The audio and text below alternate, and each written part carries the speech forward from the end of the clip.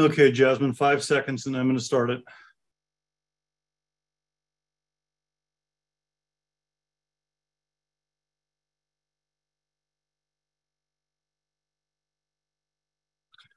Hi, I'm Dan Sweet. I'm Director of Public Relations and Communications for Helicopter Association International, and welcome to our at work uh, webinar. Uh, today's topic is avoiding the helicopter maintenance dirty dozen. Uh, human factors uh, always play a big role in the preventable accidents in our industry, and we feel it's vital to continue to talk about this, to address this, to bring this to people's attention. Uh, we recently held the Vertical Aviation Safety Team Global Safety Conference in the Dallas Fort Worth area. And Jamie Dangerfield uh, was one of our presenters, and I felt like his presentation was something that would be uh, worth bringing to your attention today. So let's go ahead and get started. Our presenter, panelist, is Jamie Dangerfield. Uh, he is an aviation uh, FAASTeam program manager for airworthiness. I'll give you a little bit more information about him in just a minute. He's with the FAA in South Carolina. Our webinars, if you're joining us for the first time, I know that the FAA has uh, shared this link, and so we probably have a lot of brand new people on our webinar. These are interactive. We encourage you to ask questions. This might be one of the few chances you get to ask a, a FAASTeam member a question about uh, Dirty Dozen.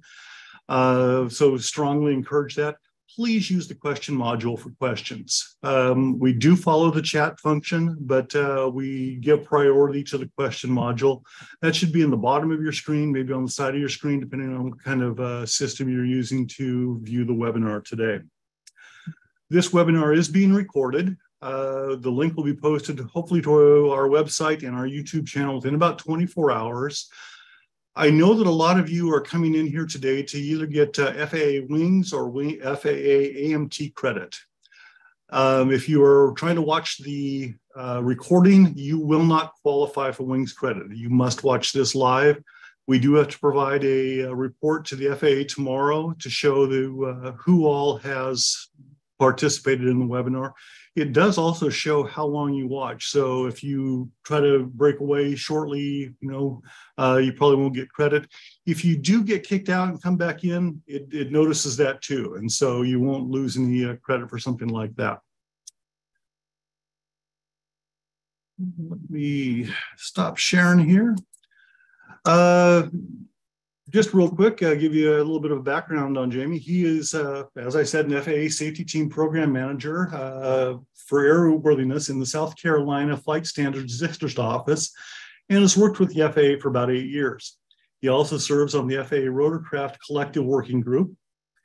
He has an inspection authorization, an airframe uh, and power plant uh, license, and a private pilot certificate with around 34 years of aircraft maintenance most of that working on helicopters for the Army, the Army National Guard, Rocky Mountain Helicopters, Air Methods, Omniflight, Merlin Fairchild Express, Carolina, uh, Heli East, and Carolina Helicopters. He also owned and operated Copter Doctors, a small public aircraft helicopter repair business in South Carolina.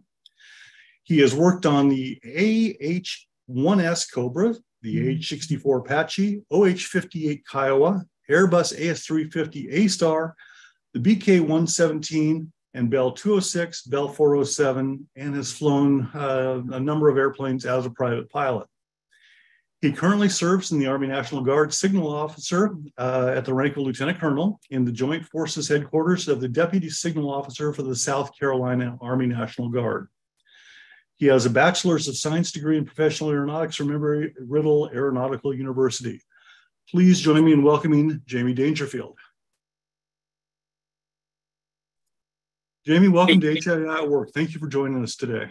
Hey, Dan, thank you for the introduction. I'm excited to be here. Hey, uh, saw your presentation there in Dallas, and I just felt that this was something that we had to share. Great. I appreciate it. Please take it away. All right. I'm going to go ahead and share that screen. Let's see.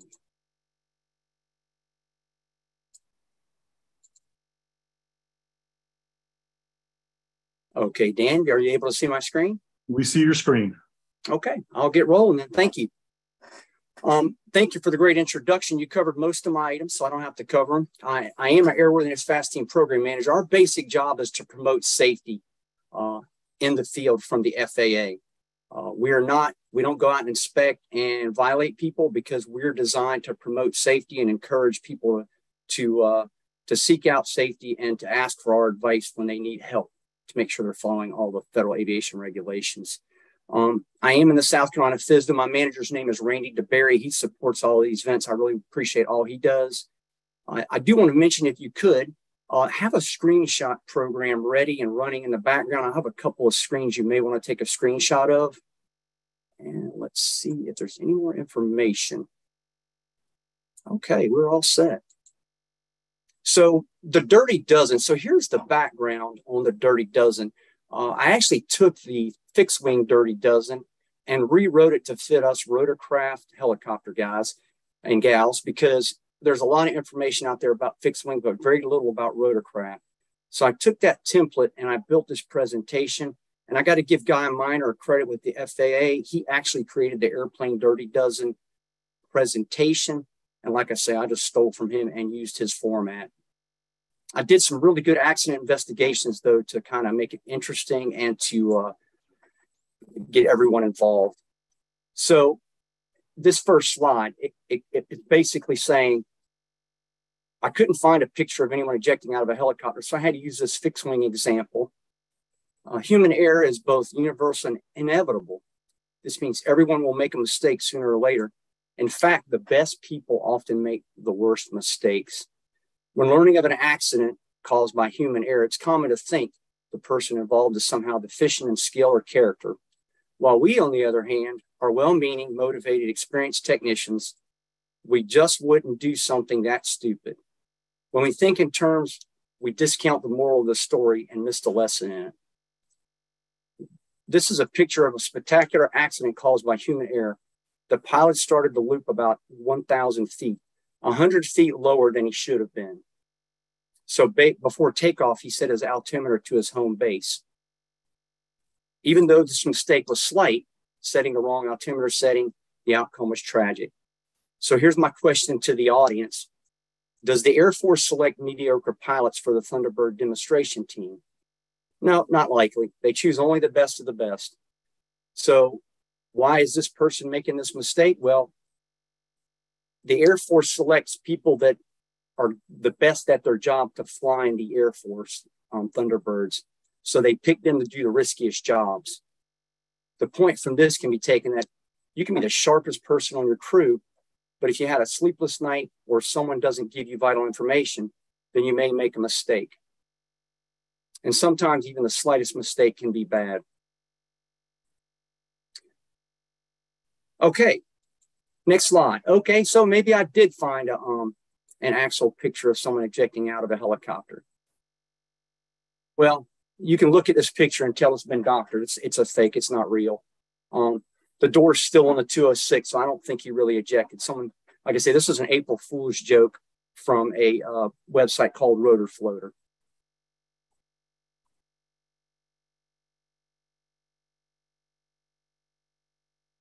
Okay, here's where I'd like you to take a screenshot if you could. Uh, what Dan mentioned earlier is I'm a member of this uh, group called the Rotorcraft Collective. It's not just FAA; it's industry partners. Um, this picture in this front, uh, this this one image you see here is actually a, a company called Rotorblade down in uh, Georgetown, uh, South Carolina. They actually uh, have the saw blades that hang beneath the helicopter and cut power lines. So um, they were nice enough to provide some pictures for this video series. But please go and watch this. This is great for pilots and mechanics. Um, this is actually one of the more popular rotorcraft collective videos. And I think it's because people are starving for information on maintenance. We do get a lot of information on pilots, but I think um, this series here is really interesting. And of course, it's called pre-flight inspection after maintenance. That also goes into an accident case study to try to make it interesting. Okay, so here are the helicopter dirty dozen, which are based off of the fixed wing dirty dozen. And so these are an example um, of a process came up with by Gordon DuPont working with Transport Canada. They went in and tried to figure out all of the human factors, errors that people make. And these were the ones they came up with. Now, you may have more than these 12, but these are an example of ones that we're actually able to identify a lot of accidents causes by. Okay, and this is our first accident case study. I'm going to try not to read the slides, but I will read this one because this is our key accident study here. On July 28, 2010, at 1:42 p.m., an Air Methods Corporation American Eurocopter AS-350B3 medical helicopter, November 509 Alpha Mike, during a VFR flight under Part 91, descended rapidly and collided with terrain in Tucson, Arizona. The aircraft was substantially damaged and consumed by post impact fire. The pilot and two medical flight crew members were fatally injured. The repositioning flight for engine coking maintenance originated at the Marana Regional Airport in Tucson, Arizona at 1:32 p.m. and the intended destination was the Air Methods base in Douglas, Arizona. Um, a couple things I want to mention about this accident. I used to work for Air Methods, um, and it's a very professional organization. All of the case studies I did here are very professional organizations where the uh, the holes in the Swiss cheese just lined up perfectly for that day, and there were a lot of errors that took place that caused this accident. Um, so just understand they're very professional organizations trying to do a job in a good manner and a safe manner. This is the actual accident aircraft. It was hard drumming up this picture. The NTSB actually helped me out with some of this information.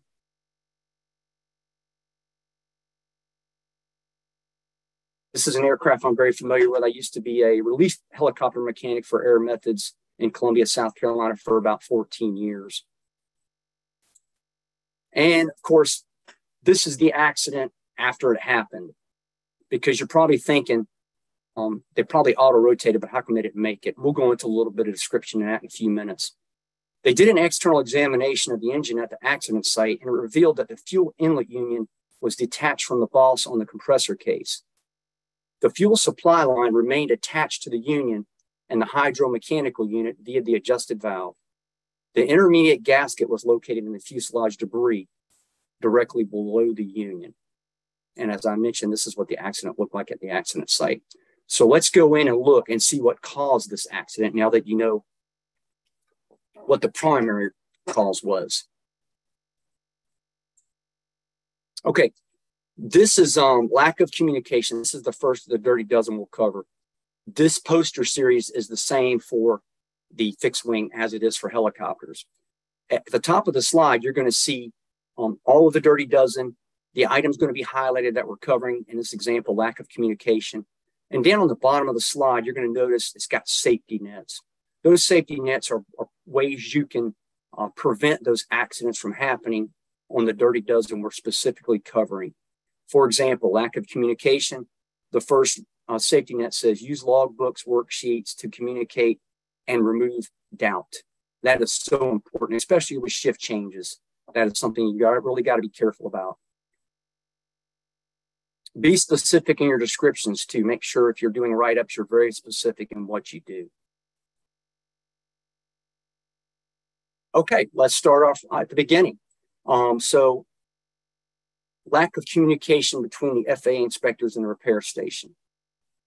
Okay, in 1953, the Civil Aeronautics Board, the forerunner of the FAA, required each operator to apply for an OPSPECs at the time of application for an air carrier air certificate those um, OPSPECs were used instead of competency or temporary letters.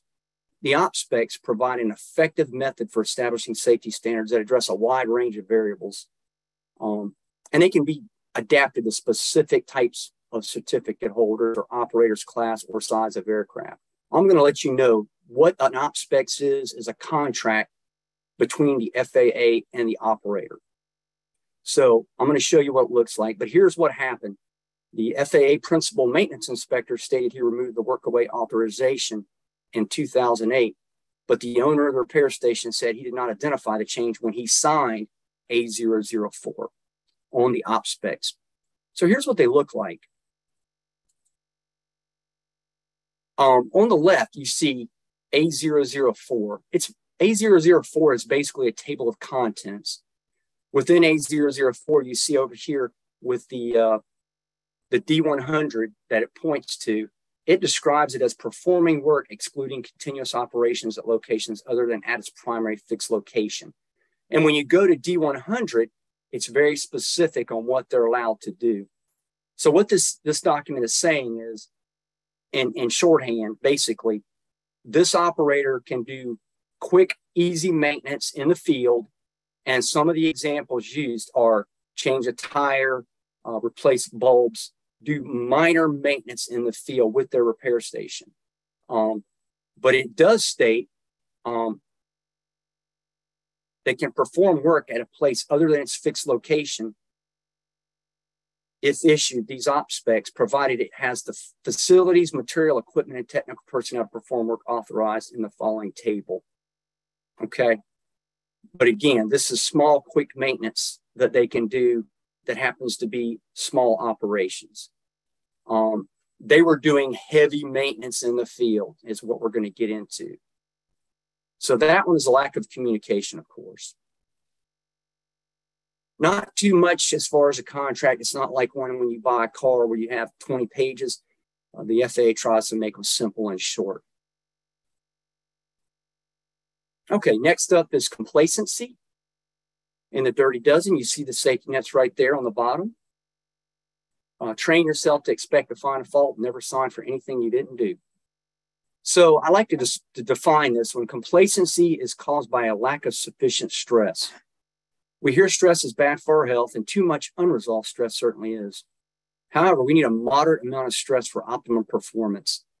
While too much stress causes confusion and fixation, too little stress can be a problem as well. It can cause a person to be bored and complacent. Um, I use the example of if you don't, if, if someone's sitting in their basement watching TV and they don't want to get a job, that's complacency. They're they don't have the drive to get out there and, and get that stress of getting a new job, doing something unfamiliar. So um, that's a, that's a good example of complacency. Um, so just remember that complacency. Okay, let's get back into this accident investigation. Um, as a Turbomeca Service Center, Helicopter Services in Nevada, which was a repair station uh, doing the maintenance for Air Methods, provided levels one, two, and three maintenance, service parts, and tools. The Turbo Service Center technicians completing a Turbomeca um, design checklist and engine build form when performing field maintenance. Turbomeca does not require its outside service centers to document their work with the forms, and they are allowed to develop their own forms to document the work. So Helicopter Services Nevada had developed their own work order forms and checklists that were completed when work items were accomplished. So I mentioned this earlier. Um, they were doing unauthorized uh, detailed maintenance in the field. And when they were in the field, they didn't have to do this work order form, which required a second person to look at the actual work.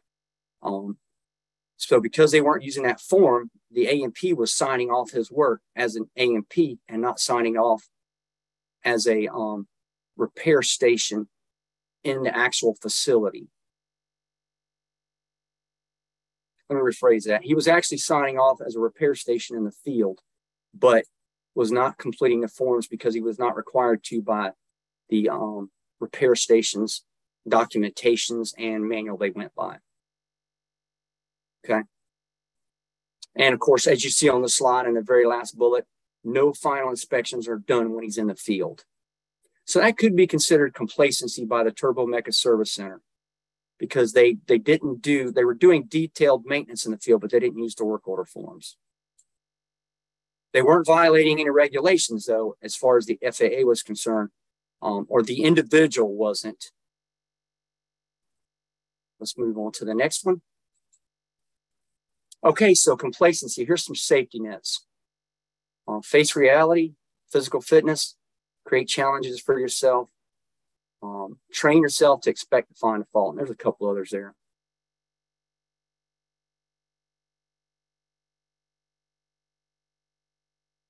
Okay, next up is lack of knowledge. It may seem lack of knowledge is about being inexperienced. However, the rational point of view is that aviation is incredibly complex.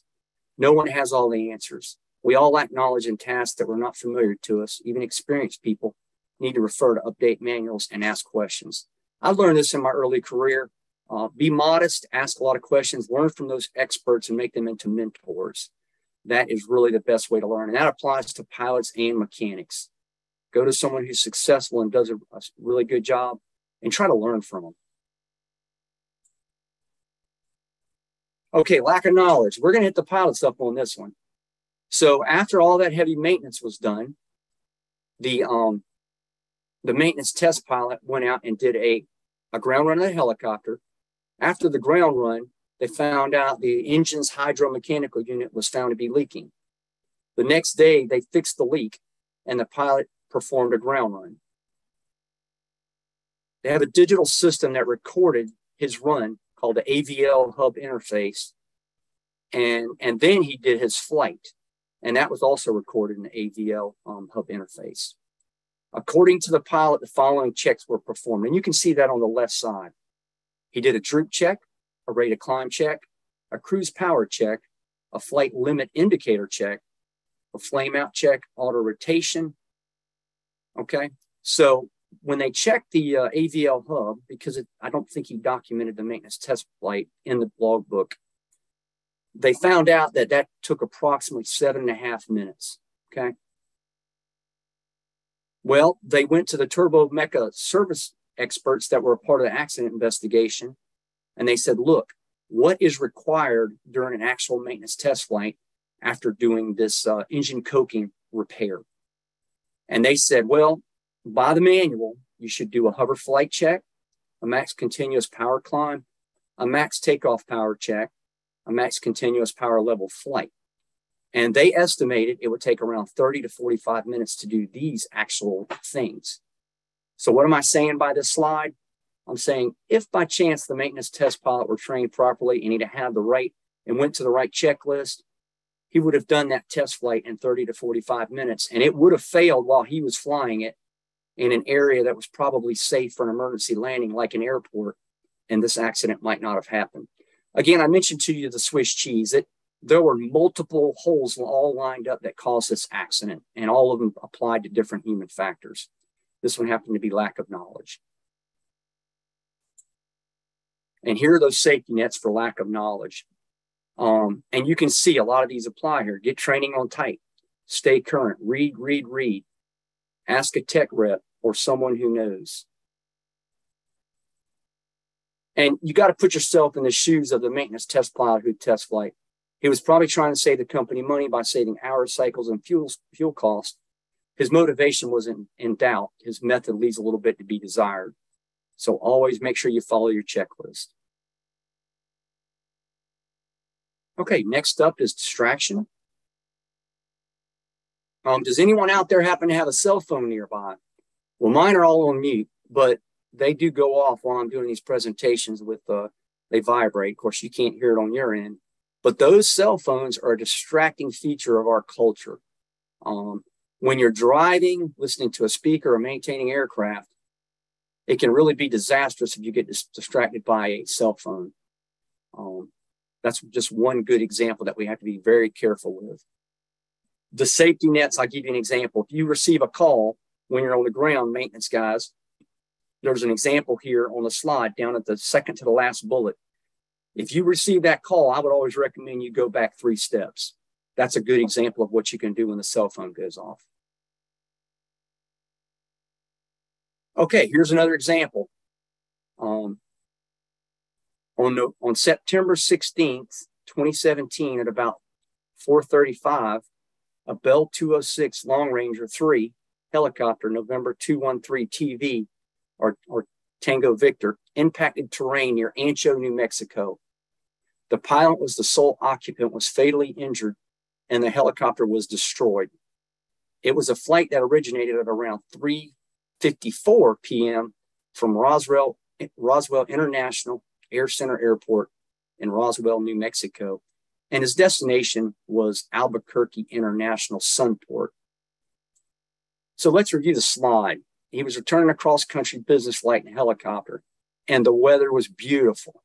As you can see by that slide in the background, it was probably that beautiful of a day there, where it was just sunny and there weren't many clouds in the sky. Um, but the last, they went and did the accident investigation. well, let me let me let me go back to this.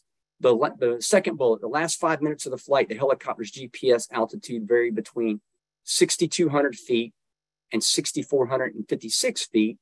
The terrain in the accident area was between 6,000 and 6,400 feet. The impact point was at 6,330 feet. Okay. They went and did the accident investigation, all the NTSB, the FAA, and all the other parties to the investigation. And they just happened to find his cell phone. And it actually was able to be, um, the information was able to be downloaded and accessed.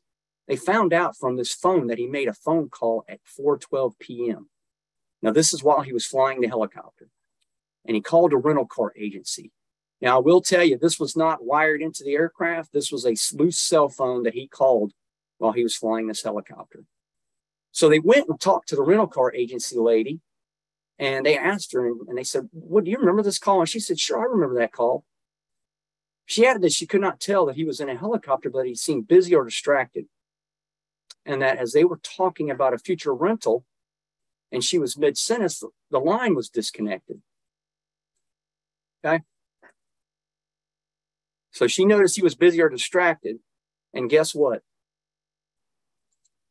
based on that call, if the pilot was likely using his cell phone during a low altitude flight and became distracted, which resulted in controlled flight into the terrain.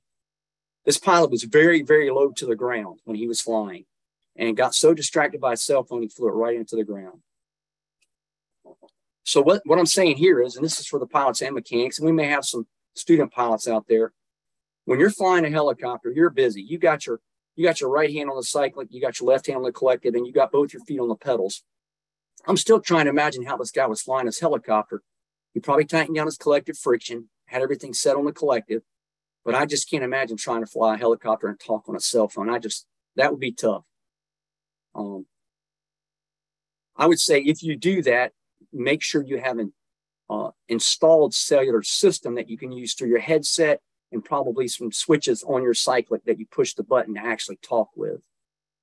They actually have STCs out there for that type of uh, installation. Uh, supplemental type certificates, in case you're not aware of the acronyms, which allow you to modify your aircraft. And here's some safety nets when you get distracted. I mentioned a couple of them already. Um, for example, if you're a if you're a maintenance guy and you're working on fuel or hydraulic lines or pneumatic lines, and you get pulled away from it and you haven't finished the job, go ahead and loosen the connection completely or finish the connection by torquing the line.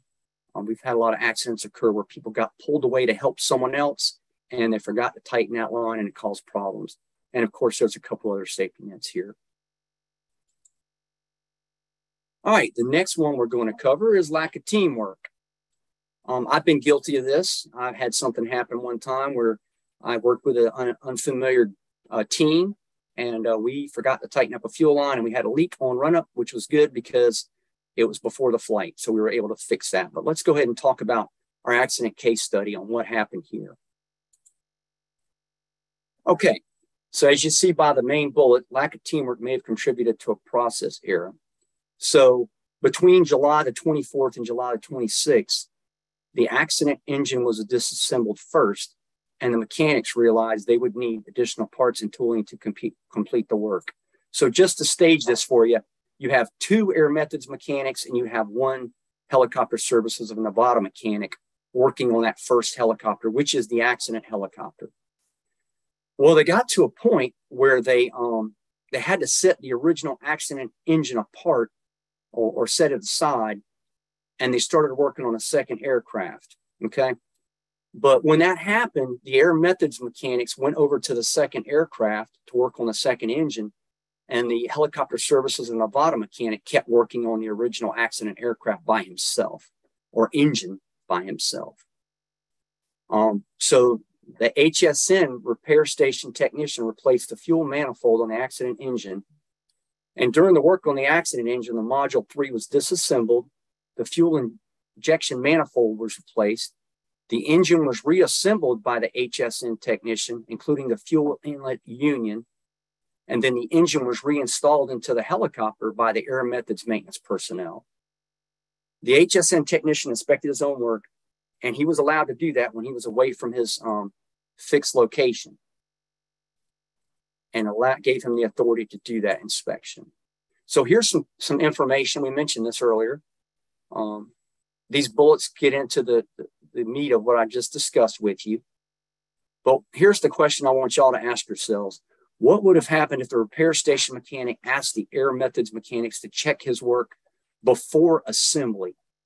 Okay, we're talking about the holes in the Swiss cheese again.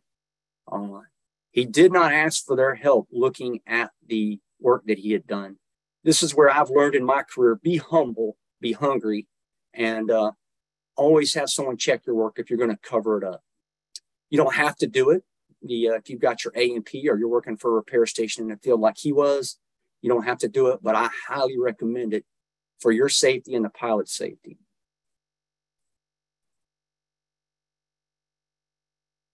Okay, so here are the details of the accident when they did the investigation. Um, in these pictures, you see the as of or as received accident parts are displayed in the upper view figure number one. So that's up here, number one.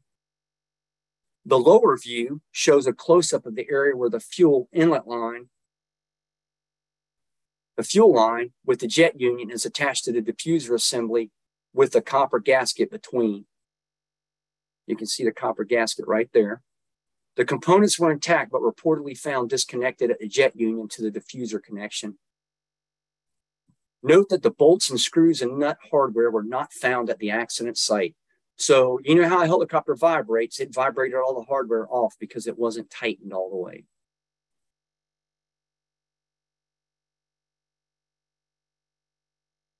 You also see on the bottom right corner, there's a, a parts breakdown out of the uh, Turbomeca uh, parts manual.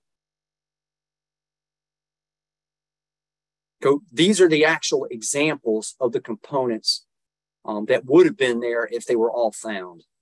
Um, those are called exemplars. So you can see the bolts, the nuts, the self-locking nuts, um, and of course the copper gasket. If it were brand new, that's what it would have looked like. So lack of teamwork, communicate. Team tasks require a full team. Don't be proud, be humble. Always ask for help. And here's another thing for all those field mechanics. I know there's mechanics out there in field locations by themselves. Get the pilot to check your work before you cover it up. Uh, they might want to work on their A&P anyway. And so have them go to the manual, look at your work, show them the work you did, and teach them. It will pay off in, in the long run, believe me. You'll have a much safer pilot who really knows what to look at, and it'll also help you understand the process too. Okay, next up on the Dirty Dozen is fatigue. We're going to cover um, some generic information here. There's three different kinds of fatigue by the medical community acute fatigue, chronic fatigue, and operational fatigue. Um, acute fatigue is usually um, where you might have missed one night's sleep. It can be, you can recover after maybe just a single rest period. Chronic fatigue means you, means you may have a medical problem. You may have restless leg syndrome, or you may have to use a CPAP machine to sleep. Um, it can cause depression. Um, operational fatigue is where anybody works too many days in a row, gets too little sleep, and uh, it can't be relieved by a single sleep period. I know I've worked long t- hours and days, especially in the National Guard, um, and it usually takes me about two days to catch up on my sleep when I've had a lot of that operational fatigue. Probably going to be the same for you. The symptoms of fatigue. I've always noticed, for example, uh, when we in the military, when we've been up for like longer than 48 hours with no sleep, you start noticing people start slurring their speech. Uh, and all of these symptoms right here become you become aware of. Usually, the person who is not suffering from fatigue but sees the person who is is the one who recognizes the person's fatigue. Now, here's an example of how fatigue affects your body in comparison to your blood alcohol level. So this is just a comparison chart and it is just uh it's subjective so just understand that so if you've been, if you look at the slide over here, if you've been awake for 17 hours, um, it's like having a 0.05% blood alcohol level. If you've been awake for 24 hours, it's like having a 0.10 um, alcohol level. And as you can see um, up here, just 0.05, you're impaired, you're considered impaired in all these countries. In the US, if you've got a 0.08, it would be the US would, be, would consider you impaired, Brazil, Canada, Ireland, and Singapore. So that's just an example to say this is the effects of fatigue on your body. Now, we're going to cover this on the last couple of slides, but this was a fatigue issue that we're going to cover real quick. Um, the helicopter you see up there on the top right corner is the helicopter that did crash. Um, so when they did the accident investigation, they went in and, t- and, interviewed the mechanic and the inspector because they had made a serious error of judgment and inspection when they had done the maintenance. Um, on the particular day they were called in for this maintenance, uh, they were not normally scheduled to work this shift. As you can see by the slide, their normal shift in the second um, column was going to be from 12, which is lunchtime, until 11 p.m. at night. Um, they were normally scheduled to be off on the day they were called in. But as you can see by the slide, the mechanic ended up working uh, right before 6 a.m. all the way up until almost 7 p.m. The inspector worked from 5:30 a.m. all the way up until almost 7 p.m. The mechanic only got five hours of sleep. The inspector got seven hours of sleep. And I'll cover this accident case study here in a few minutes.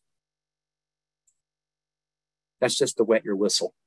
Um, circadian rhythms. So we're going to cover a little bit about circadian rhythms. So the reason there's some pictures on the slide is because the Marines did a study to see if they could adjust your circadian rhythm, which is your body's sleep cycle. So you notice when you travel overseas, you have to get on the same sleep cycle as where you're at. And if you go, say, to for example, to France or England, you're 12 hours difference. You're awake when you normally would have been asleep. So this circadian rhythm is very important for your body. The Marines did this study to try to find out if they could adjust it quickly um, in their Marines, and they found out with no success they couldn't modify it any quicker than the standard methods most people use. Um, for example, uh, your circadian rhythm affects your biological clock. It is affected by temperature, blood pressure, heart rate. Um, and also, you'll notice, for example, the people always mention when you go to a foreign country where you have to adjust your sleep, you need to go out in the sunlight because that helps adjust your circadian rhythm. Um, in this slide, you'll notice in the green chart, um, your best time to work is from 8 a.m. until about 4:30 uh, p.m. That's when your performance is at peak. When you get into the midnight hours, your performance goes way to the bottom, as you notice by the uh, the arches there.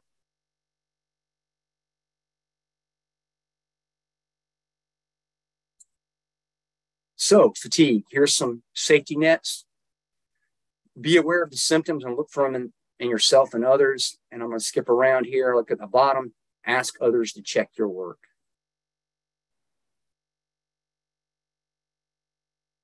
Next up is lack of resources. We're going to go back to our original accident investigation on that one. Of course, resources are money, um, which are, affects your parts, people, um, time, tools, and data. Those are all resources that you need at your disposal when you work on aircraft. There's your safety nets at the bottom. You're going to notice these safety nets were not followed in this accident. For example, uh, if your aircraft is down, order the parts ahead of time. Um, and just, yeah, those are great safety nets for this accident. Okay, so back to the original accident investigation. Um, lack of resources may have contributed to a maintenance process error. If you'll remember my description earlier, I mentioned to you that the, the accident aircraft was disassembled by all three mechanics. But guess what? They realized they didn't have the parts or tooling to complete the work. So they set the aircraft in accident engine aside, and the HSN technician continued to work on it while the air methods mechanics went and worked on a different aircraft. So if they would have had all the parts and tooling available, they could have finished that first job on the accident aircraft as a team.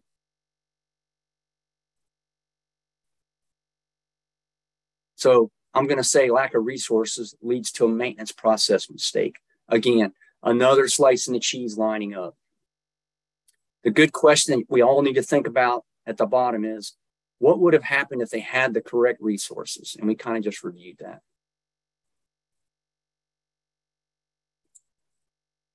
There are your safety nets for lack of resources. Again, that second one or that first one would have affected uh, this event if they would have done would have done this ahead of time. Now, it is hard sometimes to always know what you need, but if you're able to know what you're doing, like engine coking, you should be able to go in and, and look at the maintenance procedure and figure out what to order. There's your um, the, oh, I'm sorry. The next one is going to be pressure, and there's your safety net pressure that's coming up. Just to make you aware, um, a certain amount of pressure is appropriate, but too much pressure can cause a technician to make a mistake. If there's a generic hazard in aviation maintenance, it would be pressure to produce. Pressure causes a drift to dangerous methods. Back to our original accident case study. So the mechanics felt pressure after the first engine run up after maintenance. So when they did the accident investigation, they interviewed the uh, the pilots and they found out that the Air Methods um, chief uh, executive officer was coming in for a visit. Their the base was out of service, and they didn't have a backup aircraft to use in at Douglas. I learned this working for Air Methods. They would um they would take the primary aircraft, send it to the maintenance base up in Greenville, South Carolina, but they would bring a loaner in, and we would move all the medical gear over to the loaner aircraft to cover as a backup until the original aircraft had all the maintenance done.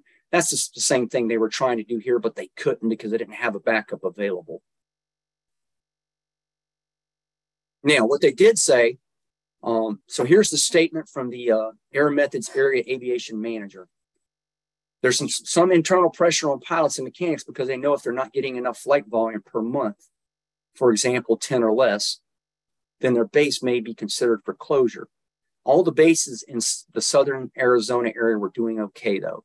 So this might have been a pressure item, but not necessarily. It's all what the person perceives. Okay, here's your safety nets for pressure. Be sure it's not self induced. Communicate your concerns, ask for extra help, or just say no. Next up in the Dirty Dozen is lack of assertiveness.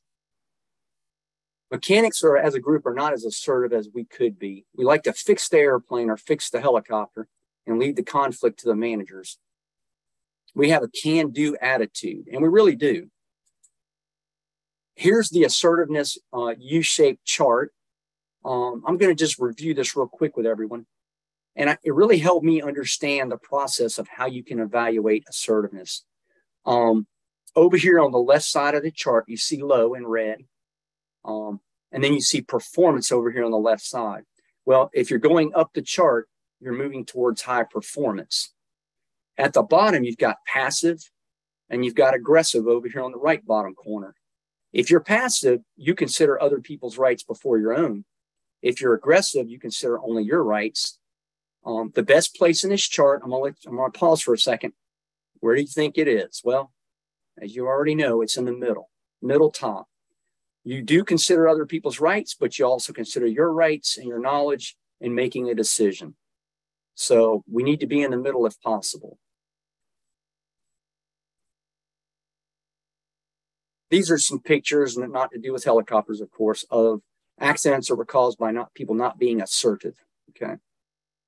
The top right is Tenerife, Spain, where the two 747s collided because of some uh, communication errors and lack of assertiveness. Next up is stress. Stress is a blessing and a curse. We need it. Like I said, we need it to pressure us to do things that need to be done. And we need a little bit of stress. We don't need too much. Here's a U-shaped chart that is exactly the same as the one we just covered. Um, you want to be in the middle. you want a moderate amount of stress, and you want high performance. Here are the symptoms of low stress, complacency, and over on the right side of the chart, you see fixation and confusion. Here are the safety nets for stress. Um, I'm going to just mention this one to everyone because I love this one as a helicopter mechanic. Um, the the fourth from the last bullet, or I guess the fourth bullet from the top, take time off or at least have a short break. I remember working on Cobra helicopters way back in the day, and in the uh, the ammo compartment, we would sit on our backs and loosen 65 screws. With a, back then, we used we didn't have many drills. We usually used a, uh, uh, a not a screwdriver. I can't remember the term, but we used uh, you spin the little screwdriver and take it off with that. But your arms were so tired holding that screwdriver up in the air that you had to take a break, or you were doing something like working on a fitting that's in a really hard place to access. Usually, if you go take a break and you come back, you're able to put that fitting on. So those are some good, good um, safety nets there. Lack of awareness is the next one. Okay. Lack of awareness or reduced situational awareness can be an indication one or more of the human factors issues are in action, such as fatigue, distraction, or lack of communication.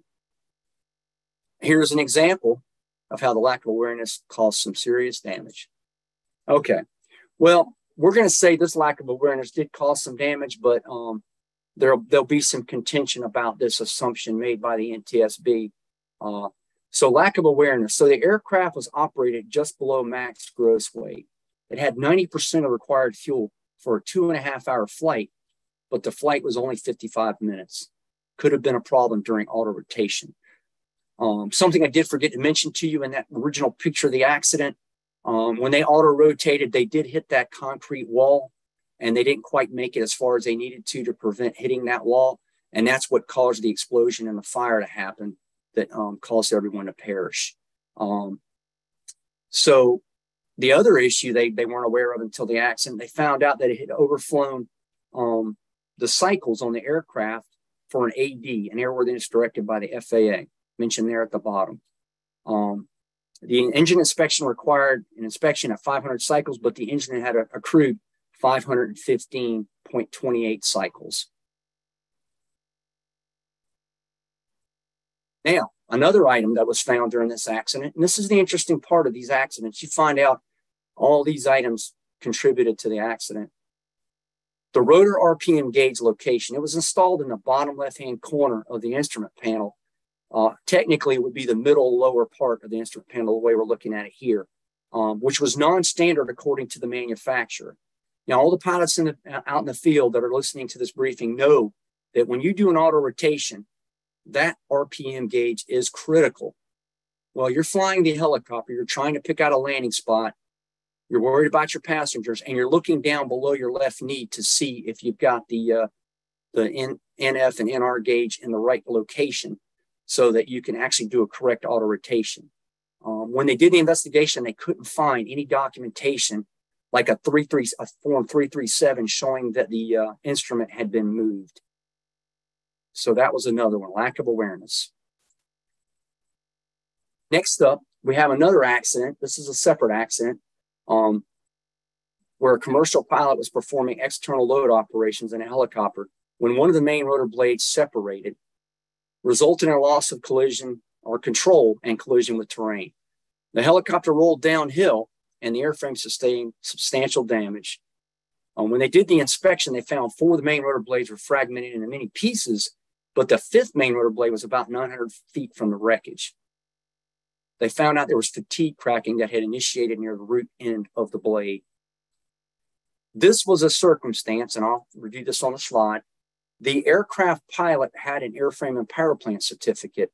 He received it so he could do the torque event inspections, which is very noble. But um, as we all know, when you're out remote by yourself, a company loves it when you have pilot certificate and an A&P because they can get one person to do two jobs um, and only pay them one salary. So in this case, they um, the airworthiness directive said that the Blade had to be inspected after every 200 torque events. Um, it required the operator to record the number of torque events on each main rotor blade. But when they interviewed the pilot slash A&P, he said he usually exceeded 200 torque events per hour and didn't perform the inspection until he got home at night. Ooh, not a good idea. This is what the rate the rotor blades look like. Now, it was a blessing he was in a um, a Hughes 369 because it rolled downhill, which probably saved his life. Uh, any other type of aircraft, they may not have survived.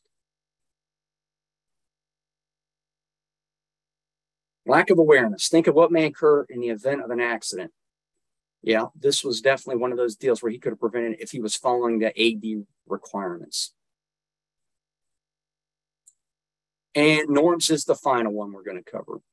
All right, let's go back to the one we covered earlier about the two people who were fatigued and didn't get enough sleep. This is a tourist flight that ended abruptly. Um, a series of maintenance errors was responsible for the crash of the Sundance helicopter, which is another American, uh, guess, uh, Eurocopter back then. Um, now it's Airbus that crashed in the mountains of Las Vegas, the National Transportation Safety Board says. And of course, they mentioned maintenance was one of the issues that caused the accident. And here's what they said. The NTSB said that the maintenance people and the inspector failed to carry out maintenance, uh, proper maintenance, and failing to do necessary actions. So what happened? The uh, organization at the time, the, inspe- the the mechanic. This is all assumptions now because I wasn't there, but from the investigation, they found out that the uh, the fore and aft servo came disconnected, and what what happened was is the uh, the nut just backed out. Okay, and nuts don't back out unless there's a problem. Well, that's because there's a cotter pin that's supposed to be installed, and it wasn't. You can see by this example in this slide, right there in the picture, that's the way it should have looked. Well, when you do an accident investigation, you find things that tell you what caused the accident. We'll see a picture of that in a minute. And of course, they found out that the uh, organization reused a degraded self locking nut and they did not install a split pin or cotter pin. And of course, if you had an inspector who inspected the work, um, they mentioned the post maintenance inspections. Now, I'm going to say the mechanic missed it, the inspector missed it, and the pilot missed it. So there's three people that could have caught that split pin being um, not installed. So the contributing factors, as I mentioned earlier, were fatigue. They had a lack of clearly delineated steps for maintenance task and inspection, the NTSB said. Here's that picture of the accident scene. And as you can see by the red arrow in the bottom left corner, that's where that fore and aft servo would have been connected.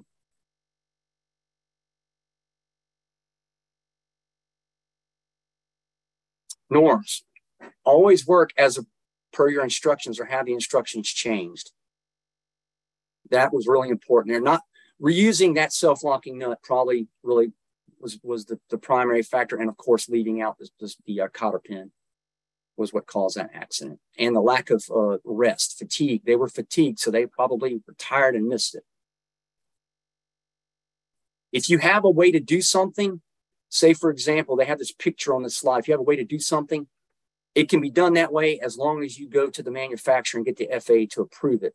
Otherwise, you have to follow the maintenance manual. There's the Dirty Dozen in the movie that it's based on. Face reality, what you do as a mechanic or a pilot can cause death and destruction. So make sure you're doing the right thing always, letting people check your work and being safe. Uh, the Charles Taylor Award is given to mechanics with 50 years of maintenance um, experience. You can either do it in the military or as a civilian. Uh, if you do it in the military, you can count 20 years of that experience towards that Charles Taylor Award. Why is he famous? Because he helped build the engine in six weeks from scratch for the very first Wright flyer that the Wright brothers flew. The automobile manufacturer said it couldn't be done, but he did it. Dan, that's all I've got. Okay, Jamie, gosh, I appreciate that. That was uh, every bit as interesting uh, the second time I've seen this now. Um, the first time, again, was at uh, the VAST Safety Conference, and uh, that certainly was a an, an interesting event uh, there in Dallas. Um, we don't have a lot of questions coming in. Um, one of the comments I did see was uh, the tool you were talking about was a speeder or speed handle. Yeah, speed handle. I, I drew a blank on that one. I've used them. We, we've got a, a, fairly significant group of uh, maintenance guys in here. And so obviously oh, some yeah. people are very familiar with it. hey, the factors you just went through are literally part of our everyday life anymore. Um, and, you know, I, I might experience literally all 12 of them just hanging out with my family, or especially if I'm taking a drive with my family. Um, so it, it really is all about context. Um, you you mentioned you know the fact that uh, people can go to work and you know if they're experiencing this, people can die. Things can fall out of the air. Oh yeah. Is is asking for help when you need it, when you recognize these factors, is that a sign of confidence or is it a sign of weakness? Uh, no, it's. A, I would say it's a sign of confidence because you feel like you want your work checked because you can make errors. I mean, every, anybody can make a mistake. Anyone that says they don't make mistakes is lying. So I would say it, it's being humble and it's being um, hungry to learn, which is what you need to be in aviation because none of us know all the answers to everything when we do maintenance. We really have to learn from other people and follow that manual. So, very good question, Dan. Well, and then you you mentioned the situation uh, there in the Grand Canyon with the the two mechanics, both of them who had been uh, working longer shifts than expected. Um, they came on early, worked all day long, may not have had enough sleep, but they called obviously were called back in. Um, so many of the, the safety nets that you mentioned were talking about asking for help.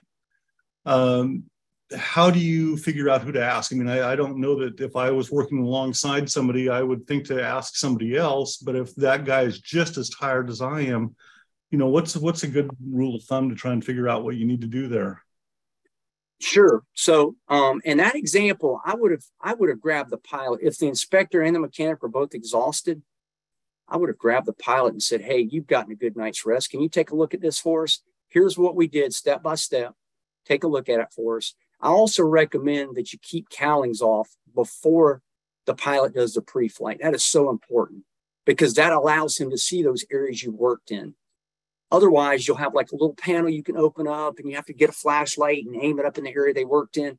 But if you can have the cover off and let that pilot look at it, you're doing him a great service. Um, same thing with the inspector. Let the inspector look at it before you put the cowling on. And then, of course, have the inspector look at the cowling. I highly recommend that. Okay. We have a question from uh, Ronnie. Um, besides following the checklist or safety net guidance, are there other tools operators should be considering, perhaps HUMS or digital record tools, et cetera? Sure, sure. Yeah, and those digital tools can really be helpful. If you've got a, a manual on a digital record like an iPad, those are great. Always make sure they have current revisions, though. Um, but yeah, definitely, those are some really good points to think about. Well, and one thought I had uh, also is again, knowing the fact that so many of these elements are part of our everyday life. You know, it seems like we have become a much more intense society, and so things are just moving at a different pace. How do you how do you ground yourself at the start of a day? Um. My last job, there was a. Uh, my dog's barking. I apologize. Um, distractions. yeah. So Dan, um, I'm gonna have to close that door. I apologize. So for me, hungry, hungry. Well, I tell you, it never fails. Um, being hungry and humble. That's that's really the thing. Be humble. Ask questions. Learn from other people. Don't be too proud. Um, the humble part really means a lot. I, I, I was very proud when I was a younger mechanic. I didn't want to ask for help. And I found out that created problems. As soon as I started becoming humble, I found out I became more successful. And people, when you go and ask them for their help, makes them feel better about you, in my opinion.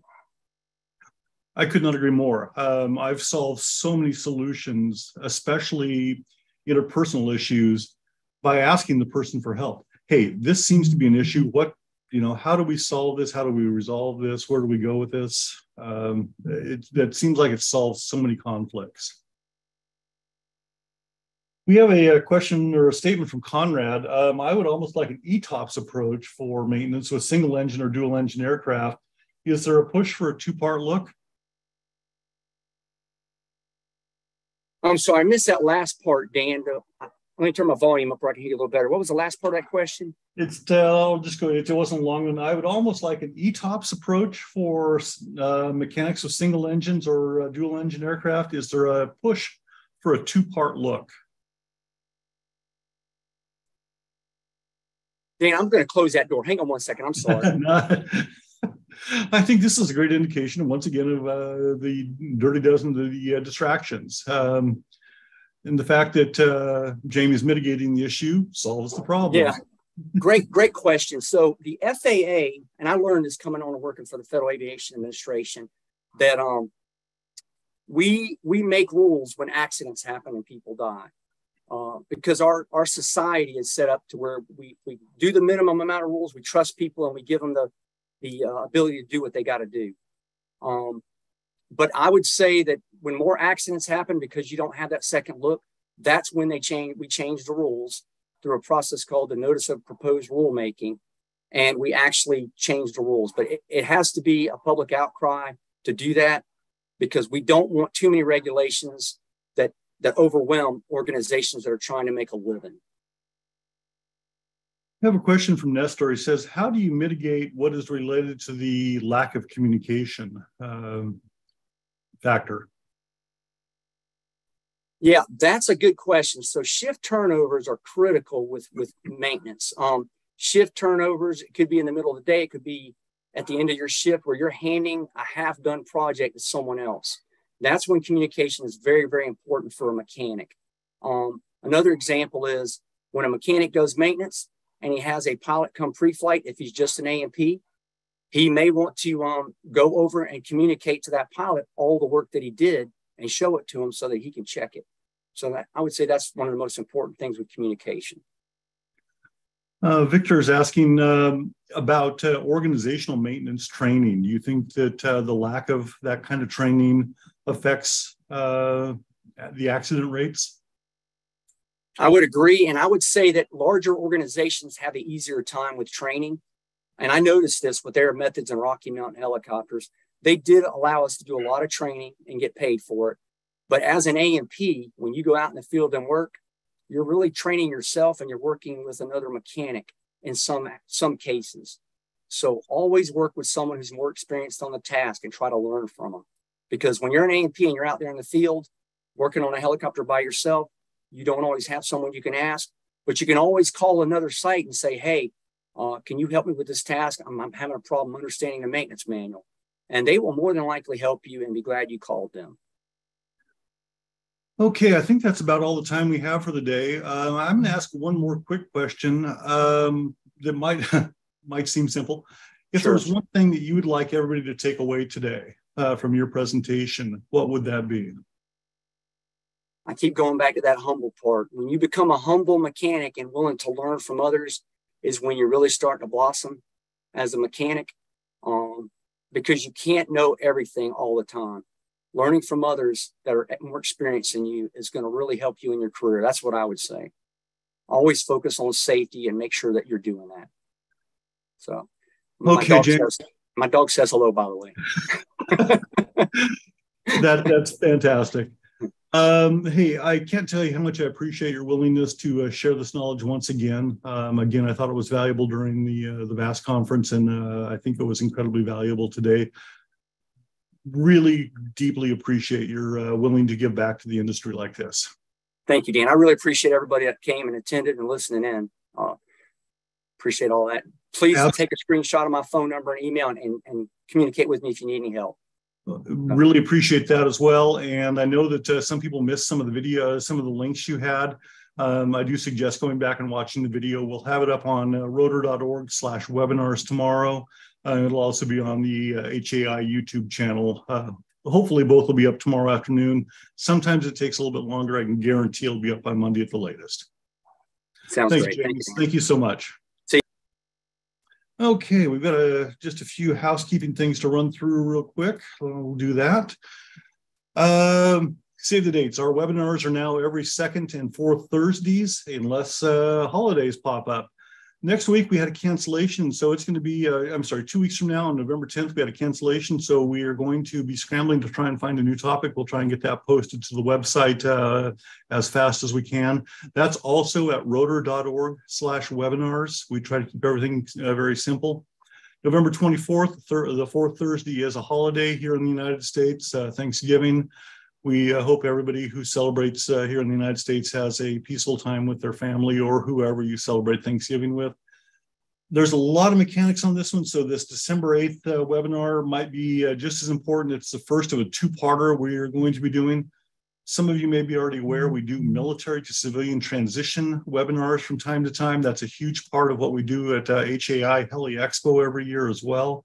This particular one is for the maintenance guys, the maintenance men and women who are getting ready to leave the military and would be transitioning into the civilian uh, sector. Um, this first part of it is going to focus on what you need to do to get everything prepared to transition. What do you need to do to get your A&P license if you don't already have it? But we're going to be talking with some people from the FAA. We'll be talking with some people a bunch of people who have already gone through this process and they're going to share the tips and knowledge that they learned and make it that much easier for uh, you. If you're not in the military now, you might know somebody who's in the military. Make sure you let them know to uh, come in uh, on December 8th and watch that. Right after the first of the year, we're hoping to have the second part, and that would be bringing in some companies who are looking to hire maintenance personnel and they can uh, help explain to you what they're looking for in terms of uh, experience, maintenance, what should be on a resume, how to get your resume to the top of the stack. Uh, those have been very popular for uh, pilots in the past, and so we think that'll be just as popular for the, uh, the maintenance personnel as well. We will be sending a uh, questionnaire here very shortly. we ask that you spend just a couple of minutes to let us know what you thought of the webinar today if there is anything that you would like us to do as a future webinar, I am always looking for uh, topics for uh, other webinars.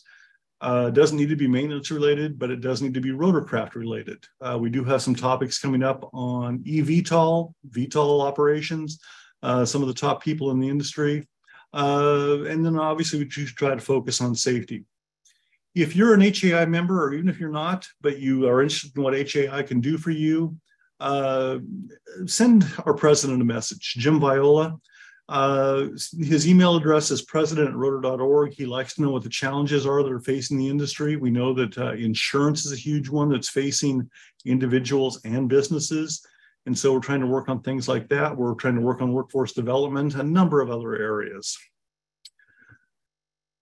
We know that uh, people like uh, following the rotorcraft industry. Um, we try to prepare a couple different products here at HAI that help you follow it, make it a little bit easier. First thing we do is Rotor Magazine. It's a quarterly publication, just came out from the presses. It was delayed a little bit for the uh, September issue, um, but it's an award-winning magazine. And it has a, uh, a lot of information. It goes a little bit longer in depth than you'll find in most uh, online articles. The other product we produce is Rotor Daily. It's a daily aggregator of news stories that are related to the helicopter industry or the VTOL industry, the AAM industry, things that are uh, coming. It's the one place that we would have all the news. You don't need to go searching for it. And what we'll do is we send that to your uh, email address every business day during the course of the year. There's usually between 8 and 15 to 8, 8 to 20 stories in each issue uh, just makes it that much easier for you to uh, to look through maybe at lunch or when you're on your break. That does conclude our webinar for today. We are grateful that you took time out of your schedule. We know it's tough for the maintenance guys to get off uh, off work at times to uh, view these. Uh, we are grateful that you were able to find time in your schedule to do it. Until next time, we ask that you fly safe, that you be safe, that you work safely. Thank you very much.